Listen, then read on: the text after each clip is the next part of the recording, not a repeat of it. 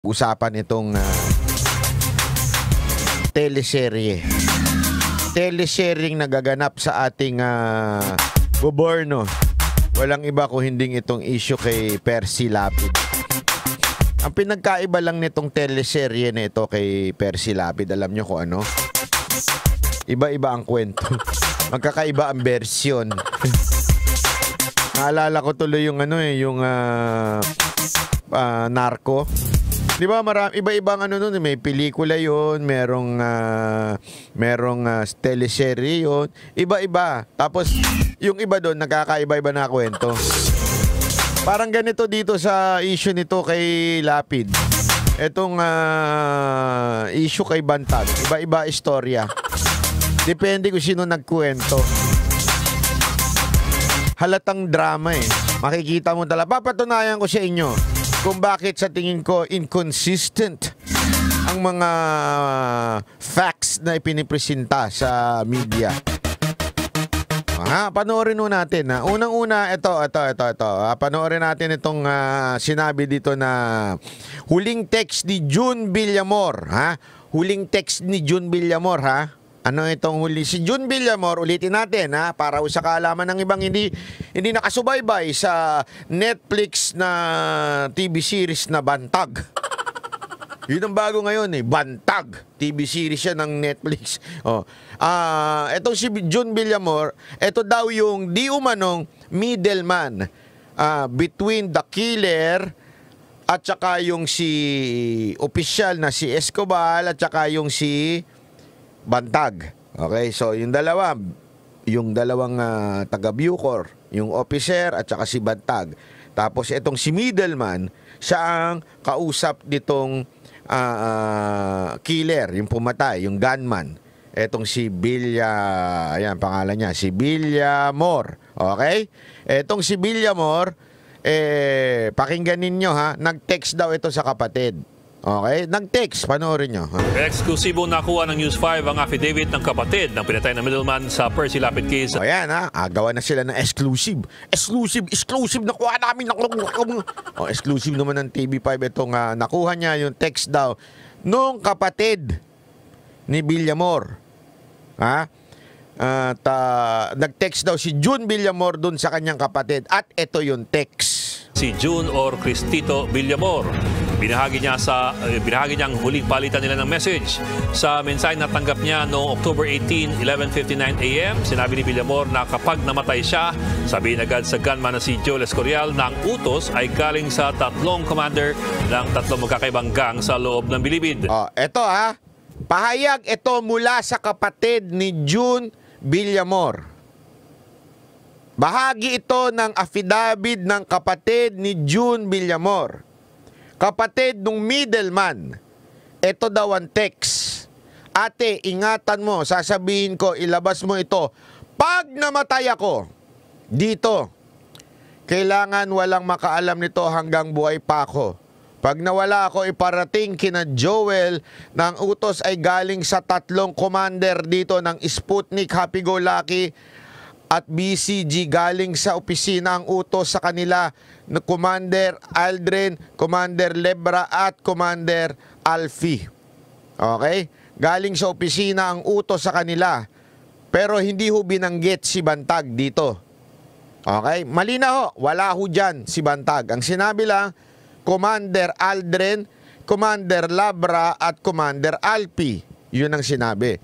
At yung opisina, ay hindi naman ho natin ibig sabihin kagad eh, opisina ng Bucor. Maaari ho kasi maaring, hindi ko sinasabing hindi yun ha, pero at the same time, maaari din naman na tinutukoy na opisina, yung opisina ng mga bawat uh, gang. Okay? So hindi ho malinaw.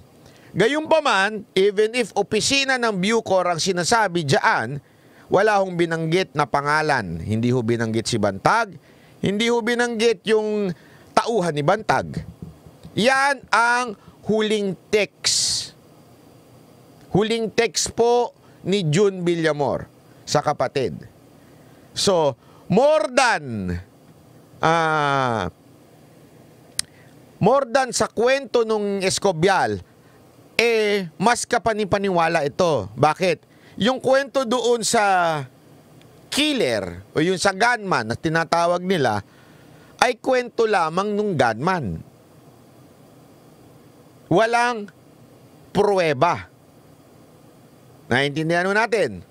Ito namang text sa kapatid ay maaaring maitrace kung talaga bagang may text na makikita sa cellphone. Sinabi, may text. Eh. Ibig sabihin, makikita doon, may text, may number.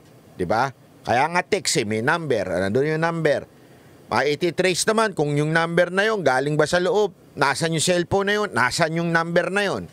Malalaman kung nasa loob yon. At yaan may pruweba. At isipin nyo maigi to ha. Isipin nyo ng maigi. Kapatid yan.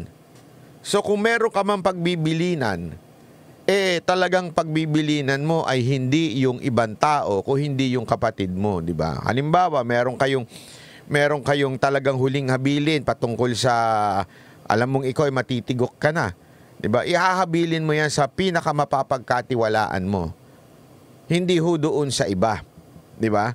So, ibibilin mo 'yan sa kapatid. At ang bilin sa kapatid ay ito. Yang text na 'yan. Ilagay natin sa utak natin 'yan, ha? Ang reply naman ng kapatid ni Villamor, ipaliwanag ng mabuti ang kanyang mensahe dahil hindi niya raw ito naiintindihan pero hindi na ito sumagot. Ang huling message ni Villamor ay huwag na raw magtanong pa basta't buhay pa siya. Hanggang sa kinahapunan ng parehong araw nang matanggap ang mensahe yan, pinatay na pala si Villamor. O, ha? Na, naintindihan ho natin, ha? So, yun yung text. Yun yung may ebidensya. O, malinaw. Okay? Pero, doon sa gunman, iba kwento. Isipin nyo na lang mabuti ha, iba kwento doon sa gunman. Bakit siya magkikwento ng iba doon sa gunman at iba doon sa kapatid? Isipin nyo maigi yun. Bakit? Bakit ganun? Di ba? Bakit ganun na iba ang kwento mo sa kapatid mo na mas mapapagkatiwalaan mo na hindi papasok sa kulungan, iba kwento mo. Eto, bigyan ko kayo ng punto dito ha. Isipin nyo maigi to. Logic lang po ito, simple logic. Yung kapatid mo, hindi naman makukulong. Tama, mali. Wala namang ginawa yung kapatid mo. So, doon mo nga pwedeng sabihin sa kanya na, Uy, ang killer si Bantag. Ang, ang mastermind si Bantag. Bakit? Hindi yung makukulong. Tama, mali. Logic. Hmm.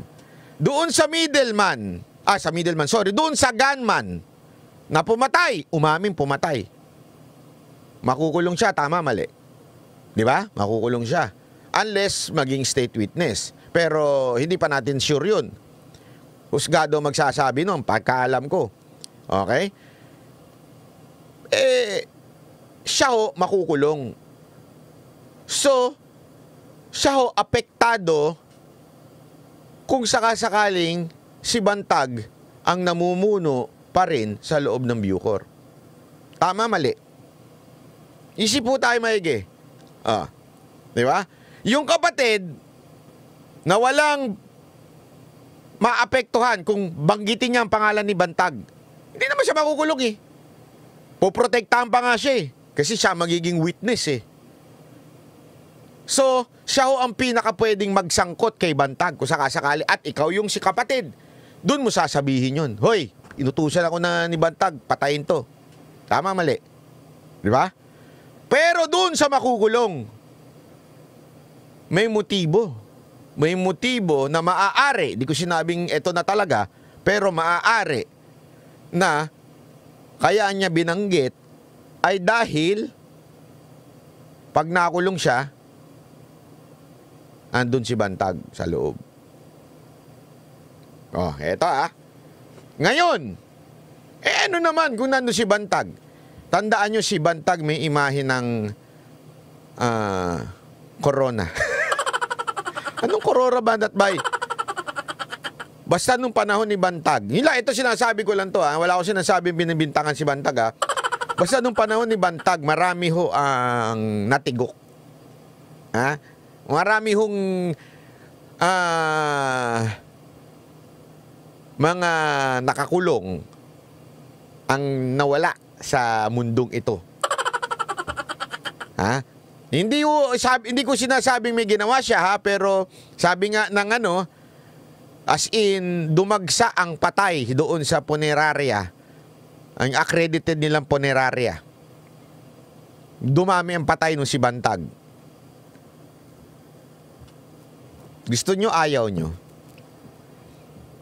Eh, kanya-kanya tao tayong opinion patungkol dyan. Basta ako,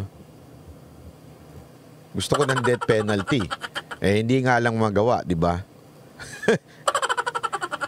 so, siguro, baka, baka lang naman, baka lang naman eh, si kamatayan ni mukhang inunahan na yung death penalty. Kaya ang daming nawala. At dahil doon, talaga nga namang maraming nagalit kay Bantag. Mantakin mo, mayat maya may namamatay na drug lord. Hindi, ito, isipin nyo lang maigi ha. Isipin nyo lang ito ng maigi. Laliman nyo isip ninyo. Wag ko kayo magpakatanso. Laliman nyo yung pag-isip nyo. Ha? Maraming natigok, maraming lanlaban nung panahon ni Bantag. Ah, maraming naubos. Lumuwag ng konti yung bilibid nung panahon ni, ni Bantag. COVID kasi daw, diba? Diba? Totoo naman, COVID nga naman. Ah. So, ibig sabihin nun, sabi dito, so anong point mo, Sir Banat? Si Bantag na? Hindi ho, hindi ho. Ang, eh, la- sabi ko sa inyo, laliman nyo eh. Laliman nyo, wag ho, wag ho tayo magpakatanso. Laliman nyo. Ibig sabihin,